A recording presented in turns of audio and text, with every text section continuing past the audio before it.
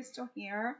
I wanted to make you another video on Excel and basically what I wanted to do is I wanted to show you how you can check your stock investments in Excel and this is with the the new version of Excel. I've got the latest version of Excel because I pay for it. So uh, but basically I think what you do is you come over here to data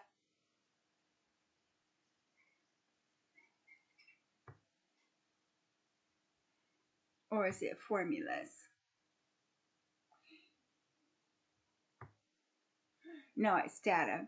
Okay, and then so basically they've got a stock icon right here. And in the stock icon right here, you can check your stocks. And so I've got some stocks that I've checked already.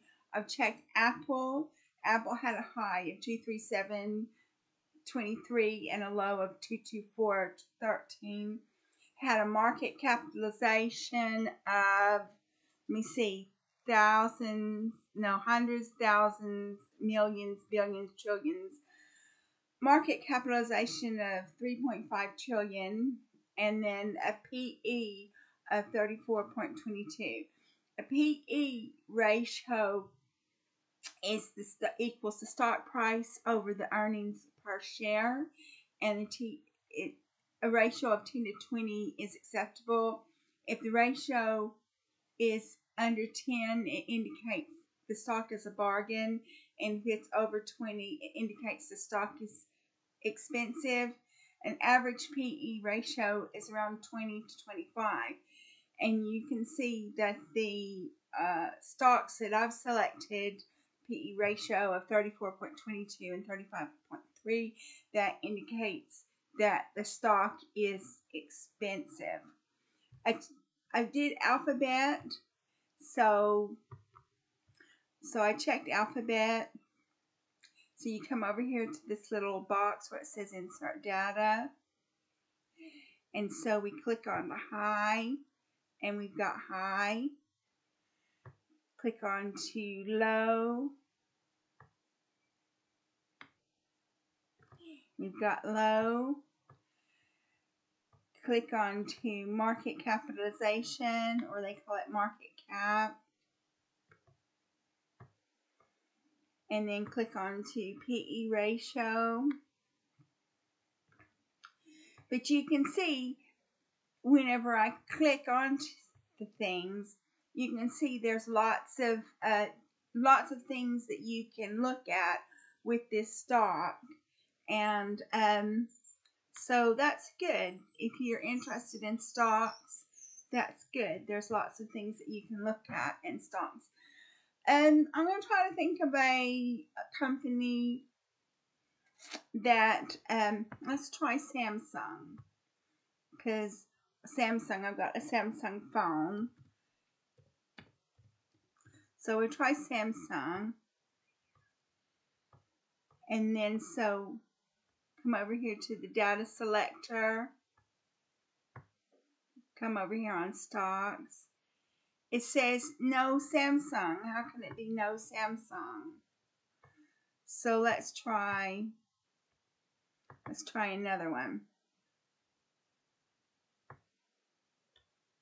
Lenovo, L E N O V O.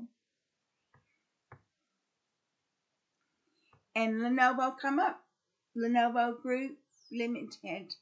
And so we'll just do it again just to give you some exercise practice. Check the high. Check the low.